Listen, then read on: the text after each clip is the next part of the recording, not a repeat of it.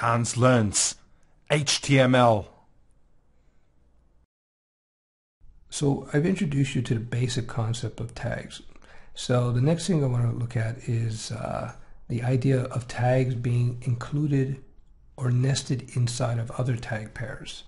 Tag within a tag? Exactly. So here's a tag, HTML. The closing here is HTML.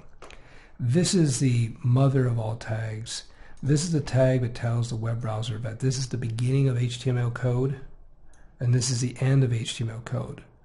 So when you're writing your web pages, everything is going to lie between these two tags. You can think of it as a giant package or a box that holds everything.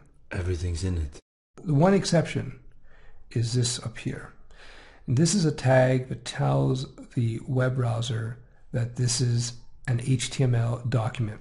That's why you see doc, which Right. is short for document, Not doctor. document Right. type. And the document type is HTML. Why does it, do you need to tell the browser that? The browser has a built-in program, an engine that reads and understands and interprets HTML. So what this tag does, it tells the web browser to activate the HTML engine. Activated. There are several flavors of HTML over the years, and this particular doc type, there's different ones, tells the browser to use the latest version of HTML. Right. So we should put that on top of every web page? It should be there. Now you Okay. can you can get away without using it, but then you're going to get some weird behavior sometimes because the different versions of HTML worked a little bit differently. Better safe than sorry. So back to the concept we were discussing, HTML tags can lie within other HTML tags. So we see, for instance, we've got the HTML, the mother HTML tags, and we see all these in between. Here's another example. We have our head and head, and in between the head and head, you have this meta tag. I'll get into that in a second. You got the title tag. So um, it goes on. Now, what I want to do now is because I don't want to bore you too much. Let's actually change this template page here and let's see what it looks like. Okay. So what I want to do is actually change the title and call this uh, episode uh, three. I saw that movie. So we'll save that and we'll see what it does Okay. in the browser. Now this is, it said the title. So let's just press refresh.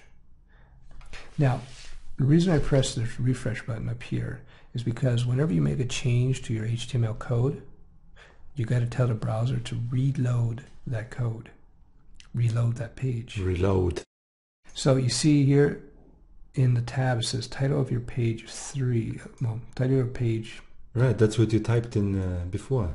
exactly. If we look at the source, view source, I see.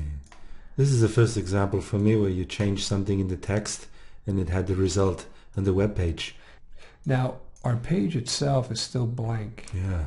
And the reason that is because anything that you see here Right. has to be in between these tags. Oh, anything on the page is in the body.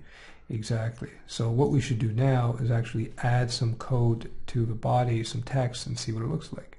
All right. To save time, I'm just going to copy this. And then let's go back and edit this page. File, edit with Notepad.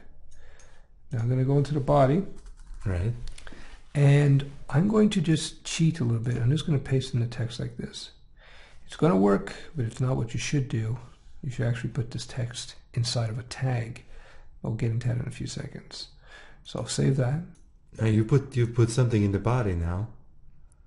Exactly. I put something in the body. Now I tried to save that and I said the process cannot access file because it's being used by another process. Okay. I hate these windows when they come up. I know what that is. So I'll just press OK for now. The reason it's doing that is because I have this file selected. So I have to deselect it. And then I'm going to hit save again. Now it works. No problem. So now let's just reload this page again. Oh, there it is. So we've just built our very first HTML page. Right. And this is all we need to know. Now this is pretty simple, but we just build up from here. It's incredible.